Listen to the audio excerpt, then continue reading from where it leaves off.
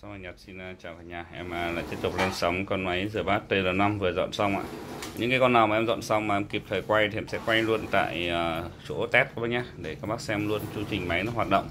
Còn kể cả em quay bên trong nhà thì tất cả đã là test từ bên này xong rồi thì về vào trong thôi ạ.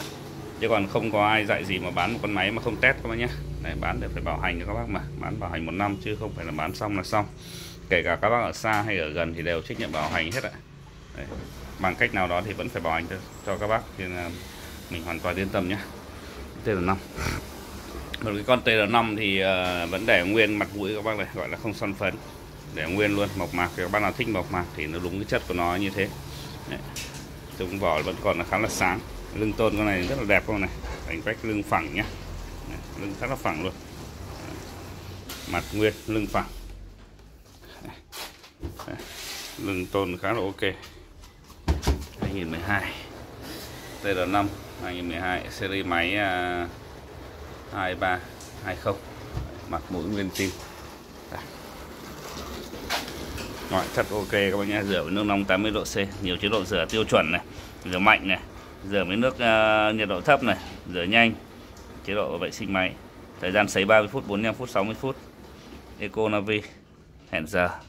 Đèn báo chu trình rửa chế độ sấy riêng biệt đây còn nội thất có thể quá sạch luôn. Các bạn vâng chỉ nội thất rất là mới này các bạn đây. Dây may so là thứ trong sạch. Chung em nhập được cái lô này à, về máy nó khá là sạch sẽ các bạn cái lô này không có gì chê cả. Tất cả các cái răng chỉ này các bạn yên tâm nhé không bao có hở nhá. Đây là khẳng định 100% là như vậy luôn. Đấy, may so này thì nhiều bác lại cứ sợ là hỏng. Không bao giờ hỏng các bác ơi. Không bao giờ hỏng may so nhé này những cái đấy là những cái chả bao hỏng, không hỏng may so và cũng chẳng bao hở gioăng nói chung là cái máy rửa bát này về chả có gì để hỏng. Nói thẳng luôn, chả có gì để hỏng. Vài một vài cái chi tiết vớ vẩn liên quanh thôi. Tất cả em đã đều à, làm ngon lành hết, tất cả xử lý hết. Đấy. trước này em bán nó 3 triệu hai này, bảo hành một năm.